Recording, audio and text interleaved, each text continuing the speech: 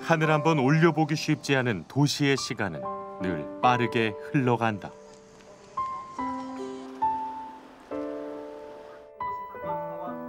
젊음도 그렇다. 쏜살같이 흐른 시간에 어느덧 여든 둘. 김할머니는 독거 노인이다. 중국 CCTV는 오전 톱뉴스로 서울 특파원을 연결해 박 전 대통령의 일대기를 TV를 보다 말고 갑자기 부엌으로 향하더니.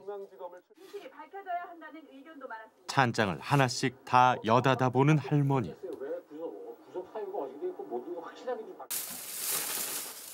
이번엔 집안 곳곳에 두었던 비닐봉지들을 이유 없이 치우고 매만지기를 반복한다. 올해가 나이가 몇, 몇이더라 나이가?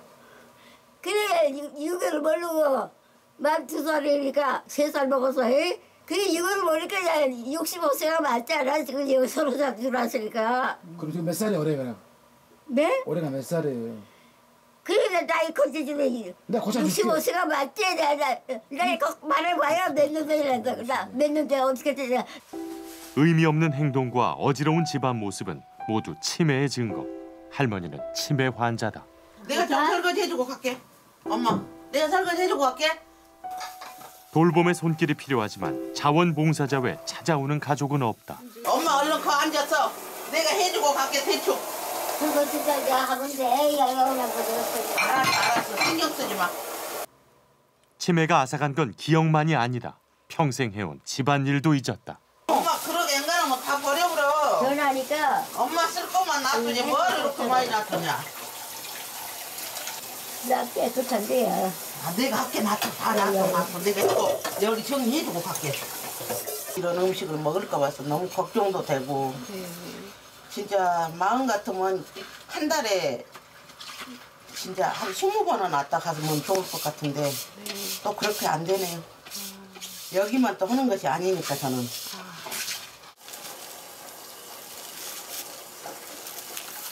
독거노이다 보고 또 건강 상태 안 좋다 보니까 의해 사고가 발생할 수 있는 확률이 너무 높다. 혼자 있다가 갑자기 뭐 죽음을 맞이한다든가. 그렇지만 이 지역사회는 이런 대상의 노인들이 하도 많다 보니까 미처 세상에 손을 못 쓰고 있다고 저는 그렇게 생각합니다.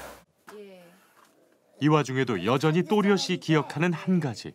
바로 아들에 대한 기억이다. 이거 우리 아들이야. 이것이 나고요, 우리 아 들이고. 아, 여기 어머니세요? 네, 그 국민학 그때 할 때 지금 뭐야? 정신이 온전치 않은 노모지만 자신을 찾아오지 않는 아들에 대해 원망의 말보다 그리움을 쏟아낸다. 아드님 보고 싶으세요? 전에 이제 나가서 들여다보지 않고 나가 죽으라고 한강대를 씻어가 뛰나 보여. 생각 안 나, 이제는. 하도 어떤 울다 울다가 이제는 팔자 이렇게 할 수 없다, 이러고 이제는 눈물도 안 나고 어쩌다 울어요. 그 애는 없지. 그안 써서 안 만나고 안 오는 거 해? 방치된 노후. 나아지지 않고 악화되기만 한다는 치매. 간병할 가족이 없는 할머니는 혼자 치매를 감당해야 한다. 늙으면 아프다. 고령 사회의 간병 문제는 필연적이다. 문제는 간병을 해줄 사람이다.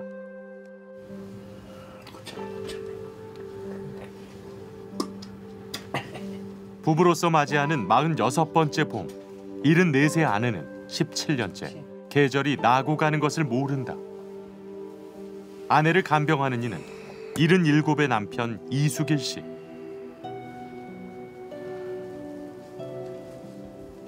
거동을 전혀 할 수 없는 아내지만 이수길 씨는 매일 아침 아내를 일으켜 세운다. 침대 위가 아닌 방 안 한가운데 두고 늘 하루를 함께 보내고 있다.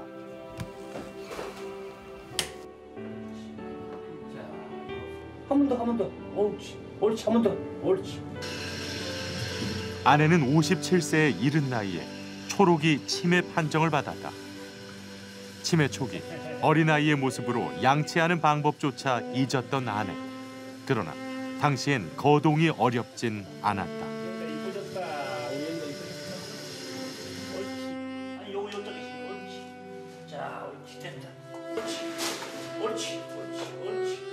늘 함께 있었지만 치매는 부부도 모르는 사이 아내를 조금씩 잠식하고 있었다. 몇 년 전까지만 해도 함께 산책 나가는 것을 좋아했던 아내.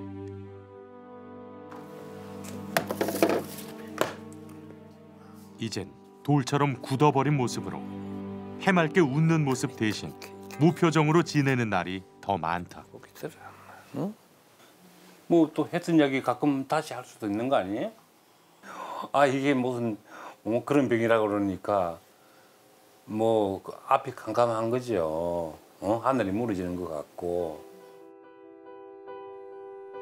자식 둘을 다 키우고 이제부턴 좋아하는 여행이나 다니며 여생을 보내자던 부부의 소망과는 너무 다른 잔인한 현실.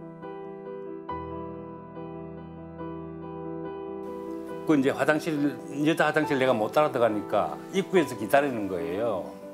근데 화장실에 들어갔는데 사람이 안 나오는 거야. 그래서 보니까 이 이거 나가는 문이 두 개인 거야. 그 내가 앞에 입장 기다리는데 모르고 그 문을 가가지고 탄 거야. 새벽에 3시에 했는데 사람 형상을 보니까 이제 밤새도록 돌다가 뭐 까졌지 피가 줄줄 나고 이래서 그 만날 때는 얼마나 반가운지 조금 웃는 표정은 하긴 하는데 확실히 뭐 좋다 이런 표정은 아닌 것 같고 제대로 씹지를 못해 소화가 안 되는 아내를 위해 죽을 만드는 것도 이젠 이수길 씨의 일상이 됐다.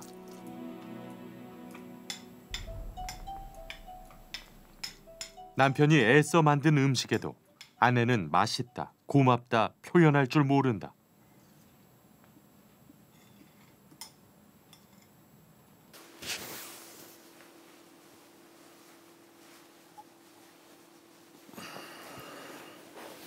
아까 뭐 먹었으니까 이빨 닦아야지. 예.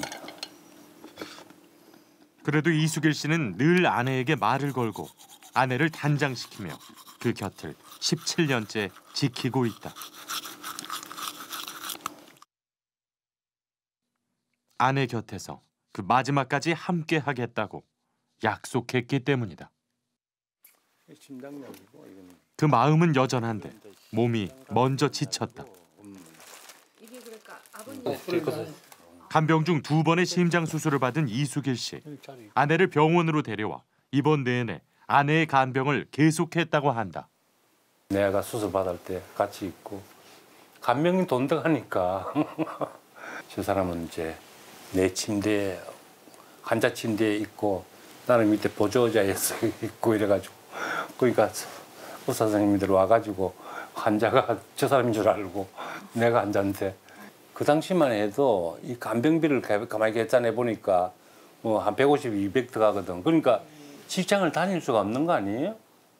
아니 그 아니 그 돈 받아가 그거 다 주니 뭐 무슨 소용이 있겠냐. 마음이야 아내 간병에 끝까지 힘을 쏟고 싶은데 골병든 몸이 문제다. 하루 24시간 망부석처럼 굳어버린 아내를 중심으로 흐르는 할아버지의 시간. 매일 조금씩 절망감은 커져간다.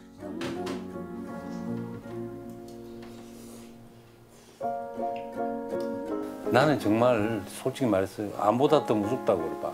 이게 아니 이게 뭐 후진이 없잖아. 전진만 있지. 자꾸 조금씩 조금씩 나빠지기만 짓는데 음, 그러니까 절망하는 거지. 사람이 그냥 희망과 뭐 기대나 뭐 이런 게 꿈이나 일이 있어야 뭐가 되는 건데 그렇지만 그렇다고 안 할 수도 없잖아. 응? 응, 살아있는 한.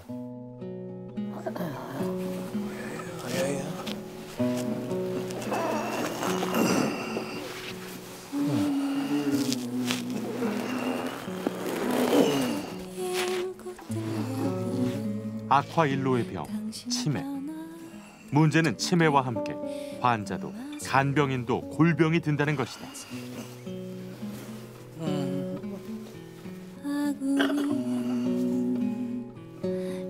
간병이 위태로운 이유다.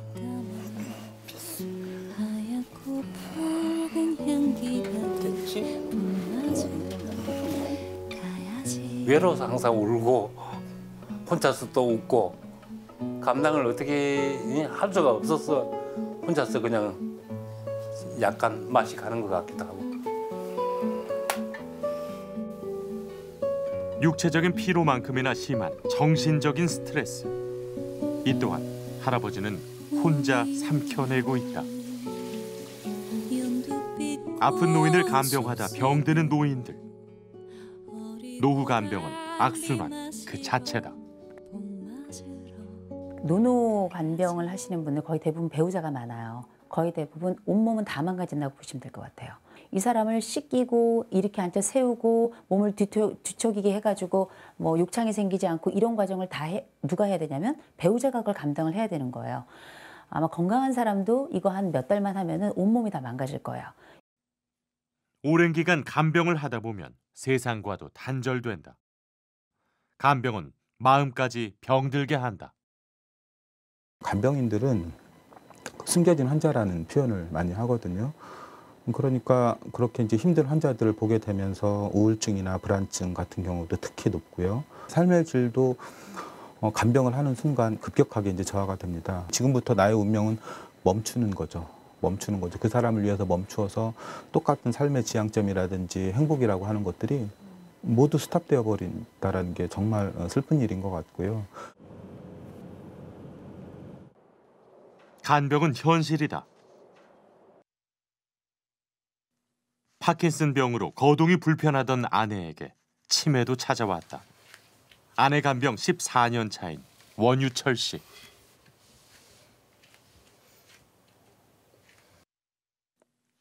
간병. 그 시작은 집안일이었다. 나이 환갑을 맞이할 때만 해도 아내 대신 자신이 부엌에 설 줄도 집안일을 도맡아 할 줄도 몰랐다. 허당한테 방을 쓸어도 다 내가 쓸고 빨래라도 내가 다 하고 김치라도 내가 다 하고. 난 집안일 그 전에 몰랐어. 이렇게 이렇게 많은 거를. 야 지긋지긋하게 많았다 이거 일해 보니까. 아 이미 그 녀석 가지고 하루 종일 이러냐 그랬더니 그게 아니야 내가 해보니까. 표도 안 나요. 한 자리도 없어. 바짝 들어앉아 절로 떨어져 또 이제야 집안일의 무게를 알게 됐지만 아내에게 고마움을 전할 길이 없다. 4년 전 치매가 찾아온 후 아내와의 대화는 늘 단답형이다. 갑작실이 도진다니까 사람도 다 알아보고 이런 캐지가 되다간 확 또 도지는 수가 있어 그래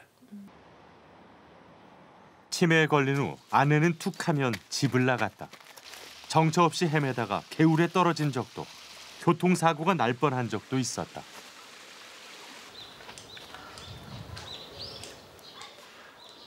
어디 갔다 와? 날 꼭 붙들어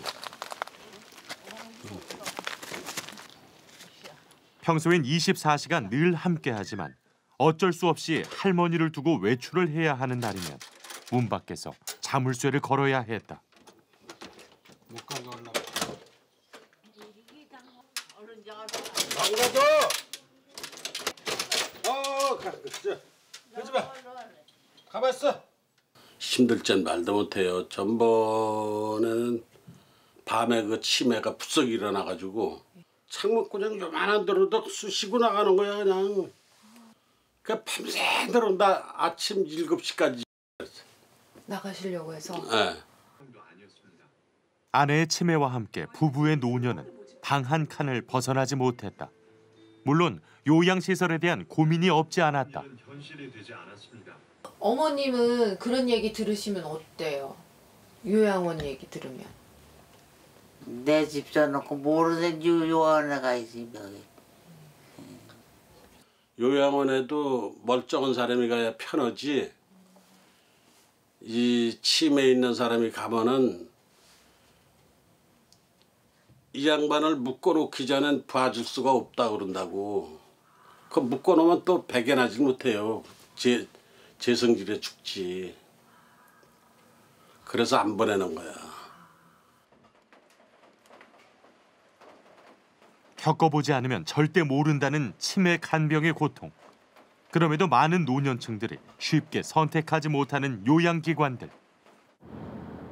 과연 요양기관은 자택 간병의 대안이 될 수 없는 걸까? 서울의 한 국립 요양원.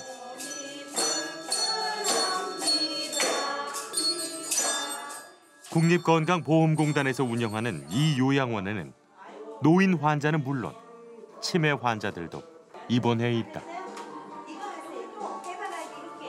예, 그림도 그리고 그냥 게임도 하고 재밌어요. 요양원에서는 목욕, 대소변 등의 일상생활 관리와 더불어 치매 예방 프로그램 및 실내 운동이나 물리 치료 등을 통한 건강 관리도 함께 진행하고 있다. 가정처럼 좀 편안하게 좀 모셔보자. 뭐 이런 모토로 마음까지 보살피는 뭐 서울 요양원 이런 이제 구호를 어, 만들어서 저희들이 어, 장기 요양 사업의 가장 표준 모델이 이런 것이다라는 것을 좀 제시하고 싶어서요. 뭐 하다 보니까 아무래도 인기가 좀 다른 데보다는 좀 있는 것 같습니다. 대기하시는 분들이 몇 분 정도 되세요? 지금 오늘 현재 지금 150명 베드에 대기자가 7, 934명입니다. 그럼 얼마나 기다리셔야 되나요? 그래서 이제 이게 요양원의 특성이 아, 뭐 사방을 하셨거나 어디 이제 중증으로 다른 병원에 입원하시거나 이런 경우 외에는 사실은 베드가 비질 않거든요. 이제 그러다 보니까 사실은 좀좀 깁니다. 사실은 뭐 또 대기하시다가 이제 돌아가시는 분들이 많고 이래서 그렇다면 국가가 운영하는 기관 외에 다른 요양기관들의 사정은 어떨까? 직접 서울 소재 요양기관들의 입소 가능 여부를 알아봤다. 저희는 입소가 좀 어려워요. 자리가 없어.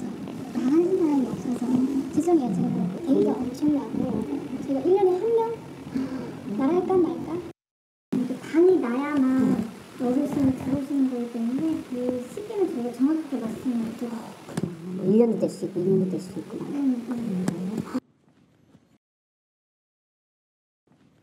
더구나 자리가 있다 해도 중증의 치매 환자는 입원 자체가 어려워 보였다. 받아주냐 안 받아주냐 중요한 거지 그 병원 요양사가 어떠냐 그게 중요한 게 아니에요. 네. 받아줄 데가 없으니까. 그럼 사람 없는 데를 받아는 주겠지 일단은 그러다 그날 데리고 갔어야 한다고. 이제 치매 환자는 안. 심하다. 그리고 그 경력이 없는 환자는 겁을 내서 못 봐. 치매 환자. 아니 1인, 1인실에 가도 치매 공동변실로 가도 간병인비도 만이라도 더 줘야 보지 안 봐. 오늘 현재 치매 환자는 72만 4천 명이라고 되어 있고요. 그게 이 저희가 비교를 하자면 제주도 전체 인구 도민보다도 훨씬 더 많은 숫자입니다. 그래서 그 매 12분에 한 명꼴로 새로운 환자가 발생을 한다고 생각하시면 됩니다. 그렇게 많이 늘어나는 이러한 치매 환자를 수용하기에는 현재 있는 이러한 시설 숫자로는 굉장히 부족할 것으로 생각이 돼서 양적인 측면으로도 정부나 민간에서 빨리 어떠한 시설의 확충이 필요한 것으로 생각이 됩니다. 고령화와 함께 치매 인구 역시 날이 갈수록 점점 더 급증하고 있는 상황. 그러나 전국 요양병원 중 공립 요양병원 수는 77개, 그중 24개소만이 치매 전문 병동을 운영하고 있다. 시설뿐만 아니라 전문 인력도 부족하다. 치매 간병의 경우 일반 환자의 간병과 다르다. 치매에 대한 이해가 없이는 환자의 돌발 행동이나 치매 증상을 제대로 관리하기가 힘들다.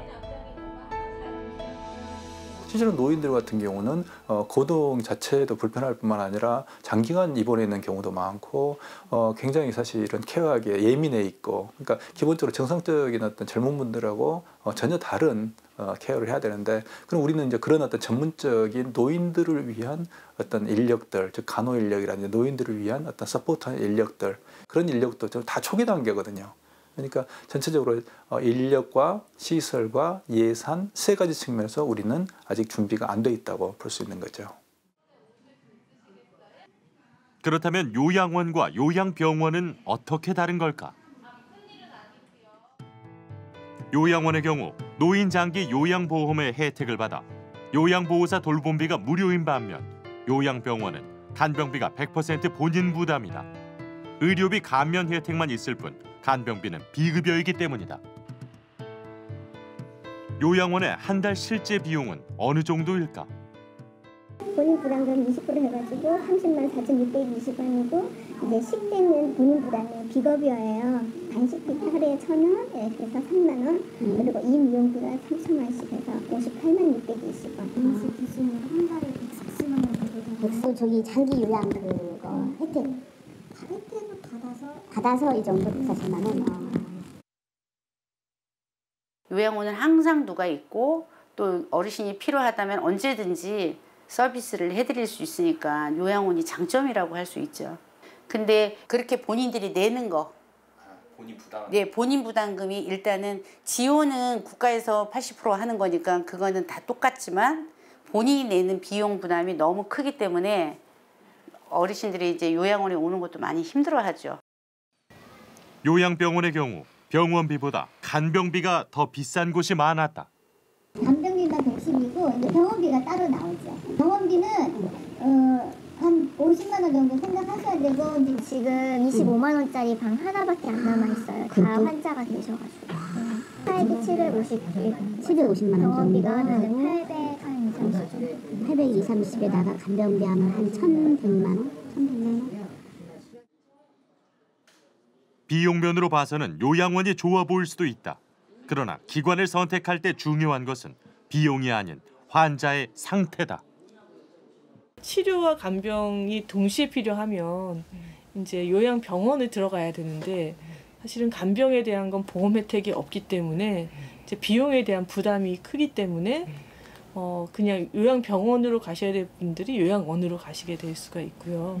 노인들도 이제 자기 기반에서 도움이 필요할 때 도움을 받을 수 있는 그런 식으로 가는 게 좋은데 그러니까 지금의 이제 요양병원 요양원의 어떤 대결 구도나 뭐 질이 나쁘다 이런 거에 떠나서 완전 생활 공간과 또 치료나 여- 그 요양의 연계 뭐 이런 걸 다 한꺼번에 다시 한번 좀 설계를 해봐야 되는 것 같아요. 시설 부족부터 간병 비용까지 노인 환자가 발생하는 순간 가족의 고민도 깊어만 간다. 어, 고령 사회라는 게 바로 이 늙는다는 것을 의미하는 것만은 아니기 때문에 중요한 것은 이제 노인 유병 비율이 75세가 되면 굉장히 빠른 속도로 늘어난다는 것이죠. 유병 비율이 늘어나면 당연히 간병 비용도 늘어나게 되고 간병과 관련된 어, 불행, 갈등들도 동시다발적으로 확대될 수밖에 없다. 그게 사실은 고령 사회가 직면하고 있는 다양한 문제 중에서 가장 심각한 유형 중의 하나인 거죠.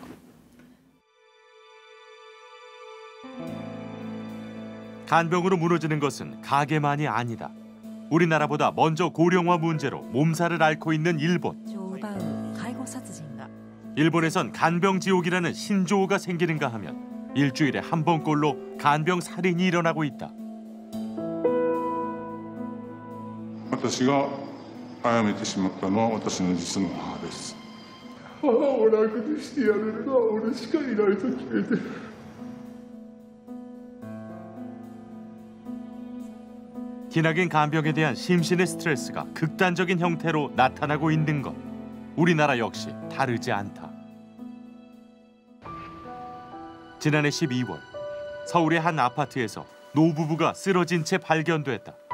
당시 할머니는 이미 숨이 끊어진 상태였고 할아버지는 가까스로 목숨을 건져 병원으로 이송됐다. 뇌졸중으로 쓰러진 할머니를 7년간 지극정성으로 간병하는 중이었다던 할아버지.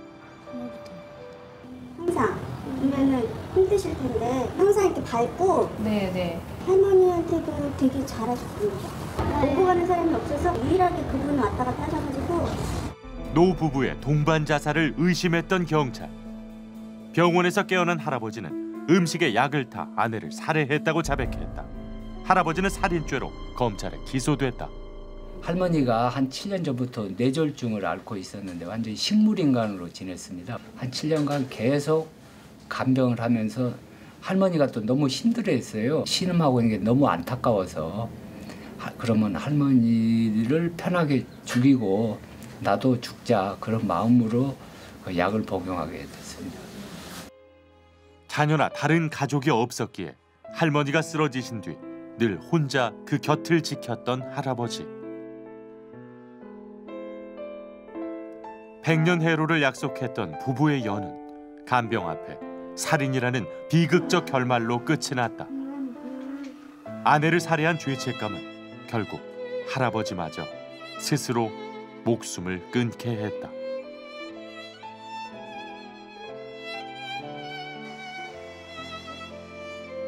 아픈 가족을 돌보다 스스로 그 가족의 목숨을 끊는 간병 살인.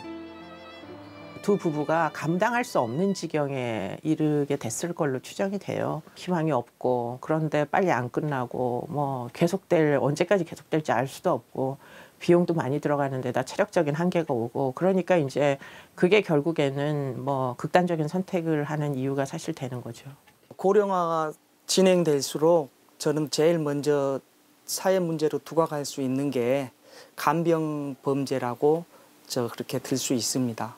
우리는 정확한 사법 통계라든가 이런 범죄 통계에서 간병 범죄를 따로 통계를 내는 그런 게 없기 때문에 지금 연간 우리 사회에서 간병 범죄가 몇 건 정확히 발생한다라고는 볼 수, 지금 파악이 어렵습니다. 그런 한계도 있습니다. 가족 간병은 중년 만의 일은 아니다. 젊은 가족이 간병을 하느라 직장을 그만두는 이른바 간병 실직도 늘어나고 있다. 20대 중반부터 7년간 가족들을 대신해 아버지의 간병을 혼자 도맡아 왔다는 30대 김지은 씨. 이거 아빠 재활 치료할 때 찍었던 사진. 이게 몇 살 때세요? 20대 때였던 것 같아요. 26살 때인가? 지은 씨의 아버지는 뇌병변 장애 1급 중증 환자였다. 저희 아버지 같은 경우는 뇌병변 1급 장애 1급. 그러니까 말 그대로 중환자였어요. 완전 침대에서 누워 계시고 숨을 제대로 못 쉬셔서 목에 기관절개를 하시고 입으로 식사를 못 하셔가지고 뭐 배에 호수를 연결을 해가지고 대소변도 바로바로 치워줘야 되고 대소변을 안 치우고 그냥 놔두면 금방 욕창이 생기거든요. 두 시간에 한 번씩 체위 변경을 해줘야 되는데 두 시간 안에 집에 갔다 올 수 있는 상황이 아니었고 상황이 그렇게 됐네요. 24시간. 24시간 간병을 하기 위해 다니던 직장도 그만두었다. 오전 6시부터 시작된 간병 일과는 밤새도록 계속됐다. 그렇게 20대 중반에 시작된 간병은 30대 중반의 나이가 돼서야 끝이 났다. 지극한 간병의 시간은 지은 씨에게 경력 단절이라는 또 하나의 난관을 남겼다. 지금은 하루를 어떻게 보내고 계세요? 지금 그냥 멍하니 있어요. 집에서 쉬고 있어요, 병원 다니면서. 아, 너무 슬퍼서 우리 아빠 빨리 나섰으면 좋겠다. 그내 미래에 뭘 해야겠다. 그런 거를 계획할 수 있는 그럴 시간적, 정신적 여유가 없었던 거죠. 너무 피곤하고 시, 시간이 없으니까. 그 시간이 있다 하더라도 병원에 있으면서 생각해야 될 것들이 너무 많기 때문에 그런 머릿속에 있는 그 생각들이 너무 많아서 그 슬픔을 느낄 만한 여유가 전혀 없었다는 거죠. 환자 한 명의 삶뿐만 아니라 가족의 삶을 뒤흔드는 간병의 늪. 사실은 이제 좀 보편적인 형태로 유형화가 되고 있는 것은 뭐냐면 간병 때문에 이직, 사, 사직을 해야 되는 그 자녀 인구의 수가 굉장히 빠른 속도로 늘어나고 있다는 것이죠. 일본 같은 경우에는 대략 통계적으로는 간병 이직이 연간 한 10만 건 가까이 된다고 합니다. 근데 문제는 이 10만 건이 10만 명이 어, 사실은 간병 이슈가 아니었다면 멀쩡하게 직장 생활을 하면서 경제 활동을 하는 사람들인데 이분들이 어, 간병을 이유로 배우자이든 뭐 부모이든 간병을 이유로 퇴직하는 순간 사실은 본인들의 삶의 수준도 굉장히 어, 나빠진다라는 것이죠. 시어머니와 단둘이 살고 있는 며느리 박현옥 씨. 사람은 어떤 뭘로 살아? 촬영 왔어요. 치매와 천식을 앓고 있는 시어머니. 이따금 찾아오는 호흡 곤란 증세로 박현옥 씨는 시어머니의 곁을 떠날 수가 없다. 병원비가 병원비가 한 달에 꽤 많이 들어가는데 한 해도 버는 거 없어요. 24시간 간병을 해야 되든지 입원을 시키든지 이런- 식으로 해야 된다고 그 말씀하셨어요. 그렇게 하지 않고 계시는 이유는 일단 입원을 시키면 또 노인분이랑 간병인이 없으면 또 입원을 안 돼요. 못 해요. 9년 전 봉사활동 중 우연히 취득한 요양보호사 자격증. 그때만 해도 현옥 씨는 자신이 간병에 매달릴 줄 꿈에도 몰랐다고 한다. 요양보호사 일로 생계를 유지해왔지만 최근 들어 점점 더 나빠지는 시어머니의 병환으로 일을 하러 나가는 것도 불안하기만 하다. 그런데 현옥 씨가 간병한 이는 시어머니뿐만이 아니었다. 한 달 전 뇌병변으로 가족의 곁을 떠난 남편. 현옥 씨는 병원에 입원해 있는 남편과 집안에 모신 시어머니 둘의 간병을 혼자 도맡아 해왔던 것이다. 진짜 버스 안에서 뭐 자가용도 없고 버스 안에서 제가 속으로 엄청 울었습니다. 그냥 기사가 보거라면 그냥 막 울었어요. 너무 속상하고 힘이 드니까 일단. 그리고 뭐 하루에 8만 원씩 간병인을 쓰면 저도 좋지요. 근데 뭐 제가 수입이 그렇게도 안 되고 그렇다고 뭐 하루 이틀 뭐 쓸 수도 없는 상황이고. 오늘 좀 늦었어요. 그나마 현옥 씨가 숨통이 트이는 시간. 바로 방문 간호사 서비스를 받을 때다. 네, 30분까지 하면 힘드시니까 여기서 한 바퀴 두 바퀴 도시고 좀 쉬었다가. 시어머니는 노인 장기 요양보험 4급으로 방문 간호와 목욕 지원을 받고 있다. 하지만 지금 가장 시급한 지원은 현옥 씨가 일하는 동안 시어머니를 돌봐줄 상주 간병인이다. 과거 남편이 건강했을 적엔 집을 세 채나 소유했을 정도로 넉넉했던 살림. 그러나 한 명도 아닌 두 명의 간병 앞에 가게는 무너졌다. 대출 때문에 팔았죠. 대출 때문에. 그 의료비 때문에 하신 거 그러니까 조금 조금 누적된 게 그렇게 된 거죠. 누적됐던 게. 의료비도 한 2, 3천 원만 해서 들어간 거고 그리고 뭐 좀 없으니까 또 대출해서 쓰고 그 누- 누적됐던 게 그렇게 된 거예요. 조금씩 누적됐던 게. 지난달까지 남편과 시어머니의 의료비로 지출된 돈은 매달 250만 원. 현옥 씨의 월급 90만 원과 국민연금, 시어머니의 노령연금을 다 합쳐도 190만 원. 거기다 생활비까지 더해지다 보니 모아두었던 돈은 모두 바닥이 났다. 이 속에서 뭐가 막 폭발할 것 같아요. 항상. 나도 무슨 욕구불만 있고 좀 뭔가 몰라 좀, 좀, 좀 풀어야 되는데 그걸 못 풀고 막 꾹꾹 참고 이거는 이거는 아닌데 이거 이거 이렇게 이런, 이런 인상은 아닌데 막 이거 막 그, 그런 이런 인상을 내가 이렇게, 이렇게 살아야 되는 거. 뭐 나도 60이 넘었는데 이거 나이 70대도 이 치닫거리 언제까지 해야 되나 뭐. 현옥 씨는 자신 스스로의 노후도 책임져야 하는 상황.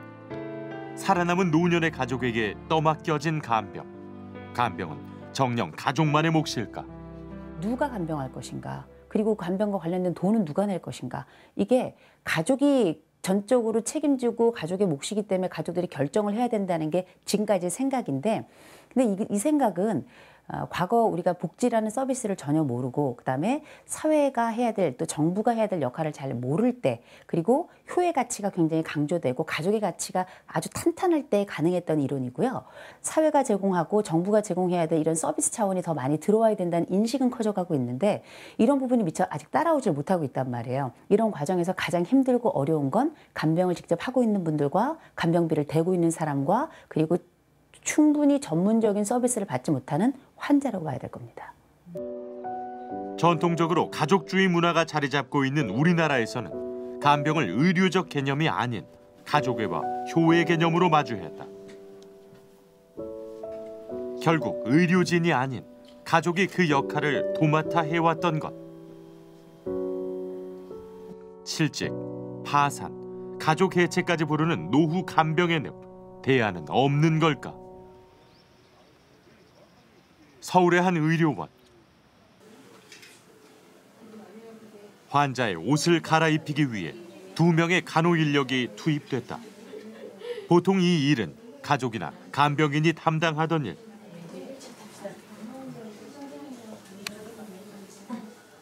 그러나 이 병원엔 보호자도 간병인도 없다. 대소변은 물론 욕창 관리 등 환자의 간병은 모두 간호 인력이 담당하고 있다. 지금 한 거는 이제 환자분이 욕창이 생기지 않도록 저희가 반대쪽으로 체위를 한번 변경해 드렸습니다. 그걸 이렇게 시간을 맞춰서 한 번씩 해주시는 네, 저희가 두, 두 시간마다 한 번씩 계속 이렇게 한 바퀴 돌면서 또 해드리고 이곳에선 4년 전부터 간병인이나 보호자들이 담당했던 대소변 처리나 식사 보조 등 간병 관리를 간호 인력에 전담하고 있다. 그 결과는 의외였다. 저희가 간호간병 통합 서비스를 시작을 하고 전문 인력이 하면서 모든 지표들이 다 좋아지고 있습니다. 예를 들면 어, 욕장이나 낙상 같은 것도 거의 6, 70%가 줄었고요. 어, 폐렴으로 인한 항생제 사용 기간도 굉장히 줄고 사망률이나 심폐소생술 같은 율도 굉장히 다 줄고 있습니다. 이런 모든 음, 것들을 보면서 저희가 전문 인력, 그러니까 간호사 한 사람의 손길이 얼마나 중요한가를 저희가 새삼 느끼고 있습니다. 간병 자체를 돌봄의 영역을 넘어 치료의 일환으로 인식하고 있는 것. 덕분에 환자와 가족 모두 간병으로 인한 부담에서 벗어날 수 있었다. 어, 침대에 누워가지고 기저귀 어, 찬 상태로 이제 대수변을 보다 보니까 이제 그런 거를 이제 간호사들이 다 해주시고요. 그러니까 저희들 입장에서는 참 너무 고맙죠. 만약에 우리 간호사분들이 안 계시면은 제 식구 중에 누구나 안 그런 간병인 누가 나와 있어야 될 거 아니에요. 근데 전문 의료진께서 모든 걸 저를 작은 거에서 큰 것까지 도와주시기 때문에 고맙죠. 저조차도 제 에, 아내가 입원을 하면 저도 가서 반병을 해야 되는 그런 문제가 있었습니다. 그런데 그런 게 결국은 결국 우리나라만의 문제지 전 세계적으로는 병원에 입원하게 되면 간병이나 모든 것들을 병원에서 알아서 해주는 거였거든요. 단지 우리나라에서만 그런 어떤 사적 영역으로 넘겨놔서 그런 것들을 개인의 비용으로 부담하게끔 요구하는 사회적 현실이었고요. 이게 다행히 국가적으로 제도화돼서 지금 나온 간호간병 통합 서비스라는 이름으로 바뀌어서 전체의 비용 중에 한 20%인 한 15,000원 정도만 개인이 부담하게 되어 있어서 과거에 280만 정도에 비하면 지금 한 48만 원 정도 월 사용 비용, 그러니까 부담은 많이 줄었다고 할 수 있습니다. 아직 초기 단계지만 간호간병 통합 서비스에 참여하는 병원의 수가 빠르게 늘어가고 있다. 그렇다면 병상 위의 간병 외에 집안에 홀로 남은 노인들을 위한 돌봄의 대안은 없을까?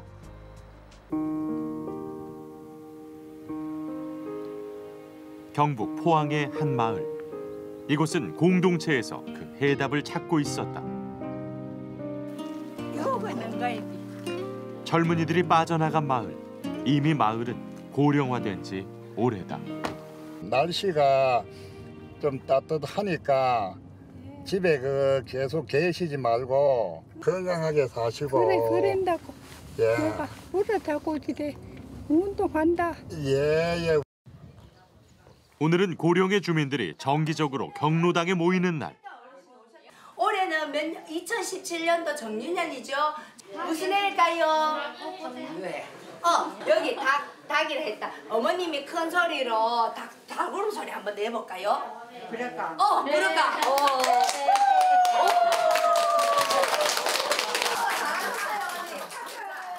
이곳에서는 치매 예방 프로그램과 조기 검진을 통해 치매 대응에 나섰다.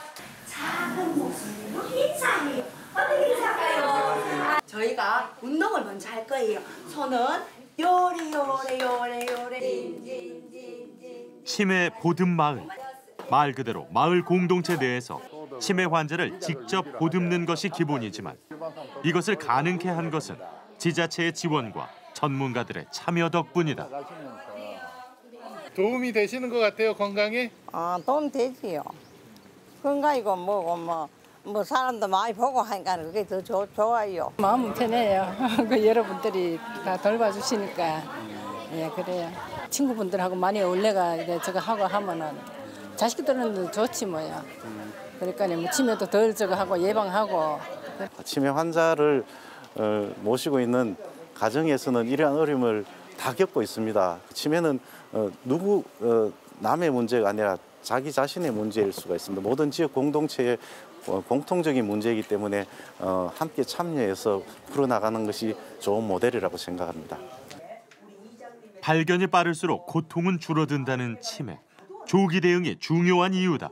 치매 직전 에 치매 전조 중 이렇게 치매를 예방하기 위한 활동들을 하면 훨씬 이제 치매로부터 자유롭게 살 수도 있는데 그, 그 부분들이 우리는 굉장히 좀 취약한 것 같아요. 적극적으로 이제 그 자기가 그 병을 치료하기 위한 활동을 안 하게 되고 뭐 이제 가, 가족들한테도 숨기게 되고 그럼 결국 중증으로 가게 되고 사회적으로 굉장히 부담스럽기 때문에 지금 캠페인도 많이 하고는 있지만 그런 적극적으로 이제 치매에 걸리지 않고 걸리 조기에 걸렸을 때 이제 적극적으로 대응하는 것들이 좀 더 필요하지 않을까. 도시의 많은 노인들은 방치돼 있다. 급속한 고령화와 함께 찾아온 유병장수의 시대. 지금의 노년은 청춘보다 더 아프고 더 절망적이다. 이 간병은 결국 누가 책임을 져야 된다고 생각합니까? 그러니까 간병에 대해서 어쨌든 중요한 거는 자신의 노후 준비인 것 같아요. 그래서 이제 아플 때를 대비해서 들어가야 될 의료에 대한 것과 간병에 대한 거를 동시에 사실은 준비를 해야 된다는 것이고 그런데 이제 그런 준비가 충분하지 않았던 현재 노인들에 대해서는 국가가 많은 부담을 좀 해야지 될 거라고 보는 거죠. 과거 노인들이 직면하지 않았던 어떤 추가적인 부담을 더 짊어지고 나가야 되는 이런 고통을 어, 안고 있는 거죠. 그래서 이런 상태에서 모든 것을 좀 개인이 해야 된다라고 어, 이야기하는 것은 너무도 좀 잔인한 이야기일 수 있습니다. 어떻게 잘 어, 생을 마무리할 것인가 그리고 어, 어쨌든 살아있는 동안에 주위 사람들에게 어떻게 서로가 서로를 잘 의지하면서 갈 것인가 이런 것들을 생각을 해야 할 어, 타이밍이에요. 굉장히 중요한 시기입니다. 오래 함께 살자던 부부의 소망은 오랜 간병으로 하루하루를 버티고 있고 일찍 세상을 떠야 한다는 노년의 거짓말 같은 푸념은 이제 절박한 바람이 됐다. 노래 조금만 해봐 주세요. 눈물을 보였나요? 내가 울고 말해야지 싫다고 가는데 밉다고 가는데 울기는 내가 왜 울어 잊어야지 잊어야지 룩룩 떠나간 사랑